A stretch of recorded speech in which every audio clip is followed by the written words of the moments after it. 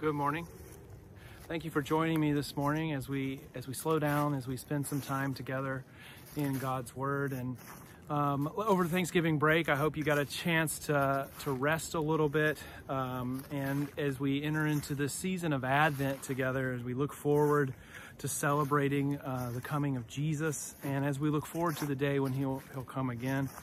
Um, this is a great time, a season of preparation. It's a time where we uh, we always want to be spending time in God's Word, but especially during times like this, this the uh, the calendar is a reminder. Um, the liturgical calendar and Advent and, and Lent and those types of seasons as a to spend more time uh, with Jesus, to spend more time with God. And so I was reading a book by uh, Tim Keller called Prayer, and uh, I highly recommend it. It's a great book uh, that kind of walks through, you know, the purpose of prayer, the power of prayer, and, and one of the places um, that he that he lands on that is uh, uh, is a great great psalm for reflection is Psalm one, and so I thought we would read that together today. So let me read that for us. This is from Psalm one. Blessed is the man who walks not in the counsel of the wicked, nor stands in the way of sinners, nor sits in the seat of scoffers, but his delight is in the law of the Lord. And that can be translated the word or the instruction of the Lord. And on his law he meditates day and night. He is like a tree planted by streams of water that yields its fruit in its season, and its leaves do not wither. In all that he does, he prospers. The wicked are not so, but are chaff that the wind drives away. I'm just to stop there. So one of the things that Tim Keller points out is that in prayer, um, we are communicating with God, right? We're speaking with God.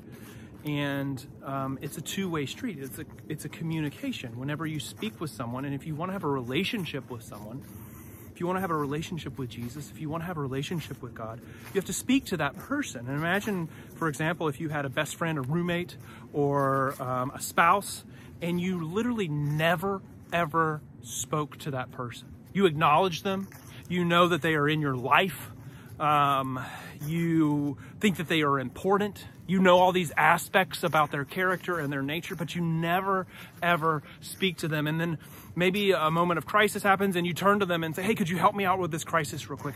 That would really not be a really strong, great relationship. It would not be a great marriage. It would not be a great friendship. And the same is true with our relationship with God, that God is a person.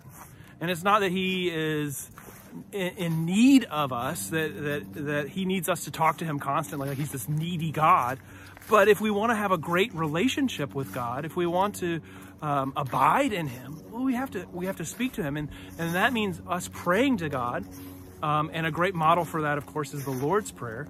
But it also means listening to him. And as a reminder, the way in which we listen to him yes, it is through uh, the Spirit inside of us, but primarily the main way we, and we can be sure that it's actually Him speaking to us, is through His Word. Is through spending time in God's Word, through meditating in it, to marinate on it, to, to study it, to read it over and over, and to listen to what those words have to say.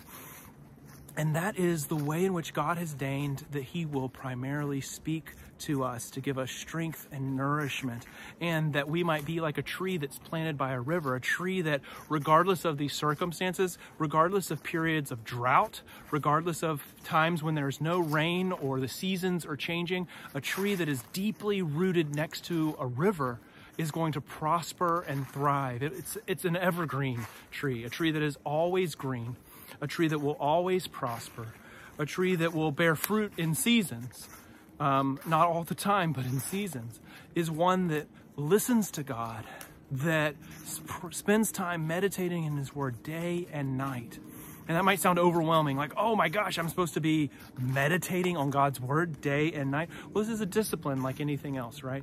So begin with just a little bit. Maybe it's um, setting aside five to 10 minutes a week to listen to a devotional uh, whether that's me or um, you could buy one of those little devotional books, or there's apps with little devotionals in it, or maybe it's spending um, a little bit of time each week, uh, and then as you progress, you spend a little bit of time each day.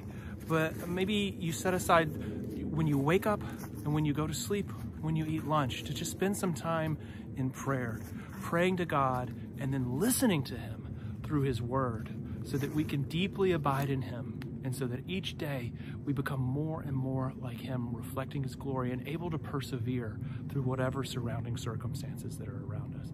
Friends, I encourage you, open your Bibles, spend time with Jesus, spend time with God, listening to what He has to say.